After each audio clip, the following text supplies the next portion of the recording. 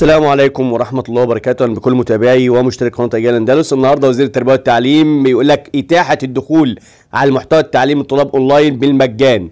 المشكلة يا دكتور طارق إحنا ما بنتكلمش على التعليم أونلاين. المشكلة إن الطلبة خلاص ما عندهاش أي استعداد للمذاكرة ما عندهاش استعداد لاستقبال الترم الثاني ما عندهاش استعداد خالص اللي هي تكمل لأسباب كتير جدا.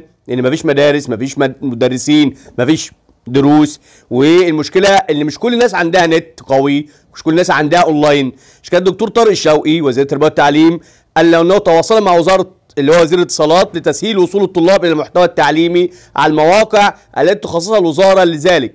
عقب قرار تعليق الدراسة لمدة أسبوعين.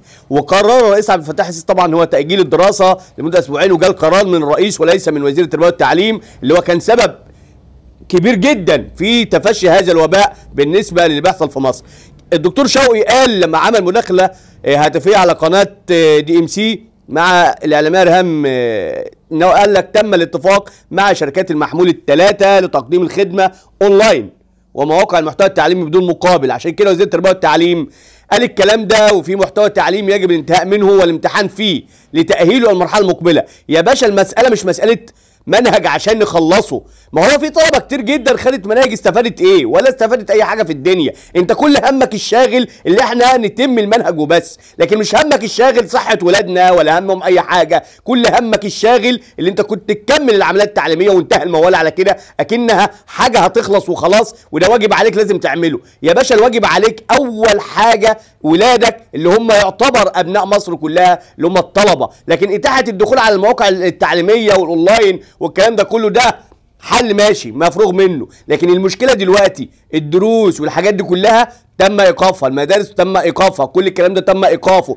وأنت برضو لسه بتقول وبتعاند اللي هيفضل المنهج زي ما هو. لا تعديل في المناهج لا حذف مناهج لا لا لا لا. طب ليه؟ استفدت أنت إيه؟ ما هو لما الطالب دلوقتي يبقى عنده المنهج صغير أو أو بسيط هيقدر يستوعبه أكتر ما يكون عنده كتير. لكن إحنا كل اللي فيها بنعند وبس. كل همنا نعند ونخلص كل واحد مسؤول عن حاجته وبس. كلتنا في مركب واحد يا دكتور طارق. وربنا يجزيك بما تقول وربنا يعلم اللي فينا إيه وواحد خلاص زهق. ده وزير التربية والتعليم يا جماعة النهارده على الصبح كده بيقول لك إتاحة الدخول على المحتوى التعليمي والاتفاق مع شركات المحمول الثلاثه أما نشوف آخرتها إيه؟ انتظرونا في كل جديد وأكيد إن شاء الله. وربنا ييسر كل جديد. هتلاقوه عندنا في قناه قناة أجيال أندلس وإن شاء الله يتم شرح النهارده لأولى وثانيه ثانوي وثالثه ثانوي مراجعات في قناة أجيال أندلس. ربنا يكتب لنا الخير ويقدر لنا كل خير إن شاء الله. اللهم قدر لنا الخير وارضنا به واحمي أولادنا واحمي أنفسنا واحمي مصر كلها. آمين آمين آمين يا رب العالمين. كان معكم أسامة رزق مؤسس أجيال أندلس. ربنا يعدي على خير وقولوا دايما يا رب.